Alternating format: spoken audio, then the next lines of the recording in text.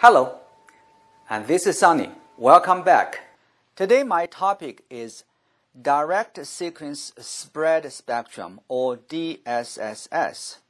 DSSS is one of the most popular modulation and transmission methods in the wireless communications.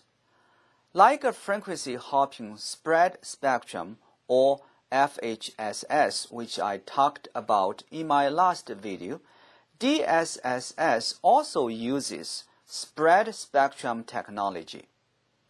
With spread spectrum, narrowband signals are intentionally spread over a much wider band. FHSS uses hopping to spread data signals, while DSSS combines data signal directly with a high bit rate sequence. Let me use three simple examples in this lesson to explain how DSSS works. Let's see the first example, a very simple and general process. At the sending end, original data are going into a spreading modulator. Pseudo noise or PN sequence is added and mixed in the spreading modulator, PN sequence or PN code, or we simply call chips, are much higher bit rate sequence, a series of zeros and ones. These chips make original data signals identical to PN code, close to noise level signals. The spreading modulator distributes the transmitted signals over a much wider band. At the receiving end, these transmitted signals are demodulated with the PN code and the original data are restored. In the process of modulation and demodulation, two goals are achieved. One, each bit is coded. Two, signals bits are distributed over a much wider frequency band.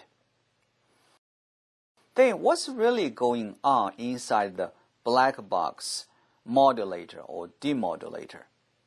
Let's see the second example to pick at some secrets, not all secrets, how PN code works on original data bit by bit. Suppose we send 2-bit data, 1 and 0.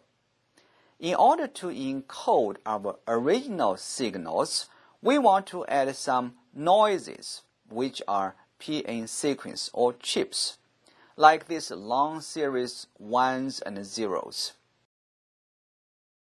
Keep in mind, PN code has much higher bit rate than the original data, 1 and 0. Now we will use this exclusive or truth table to calculate so that we can get encoded and modulated transmitted signals.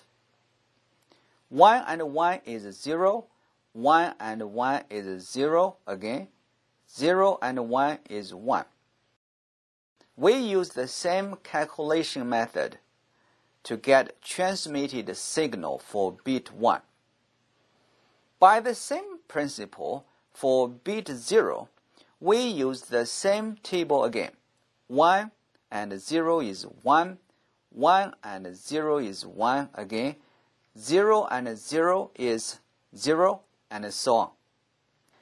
Now we get our transmitted signals, the combination of original data and PN code.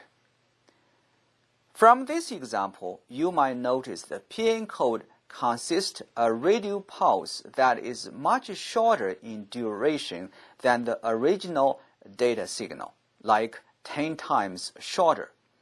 The smaller this duration, the larger the bandwidth, the resulting DSSS signals.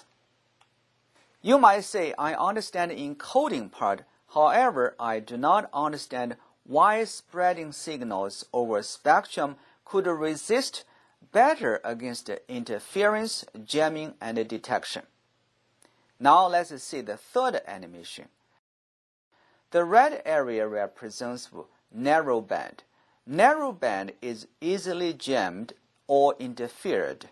When we're driving on a single lane road in a rush hour, we might move much slower and possibly get more accidents. In narrowband wireless communications, more power is required to overcome jamming and interference.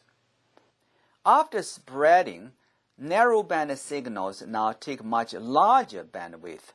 The power is still the same, but the power density is spread out, resulting in lower power and noise-like signals, make it harder to interfere and detect. In summary, DSSS has three benefits. 1. More bandwidth is used. 2. Data are encoded. And 3. Low power density and noise-like signals are harder to detect and interfered. These benefits could explain why spread spectrum technology and DSSS were developed and used and are still used in military communications in the first place. I hope this video is helpful. Thank you very much and see you next time. Oh, don't forget to subscribe.